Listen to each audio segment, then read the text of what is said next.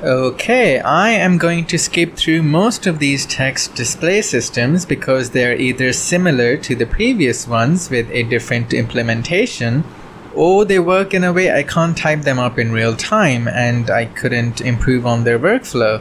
So moving on to the final one which is animated text. I can use this to create text anywhere on the screen, change its size, change its color, have it display vertically or diagonally, and I can have it be animated.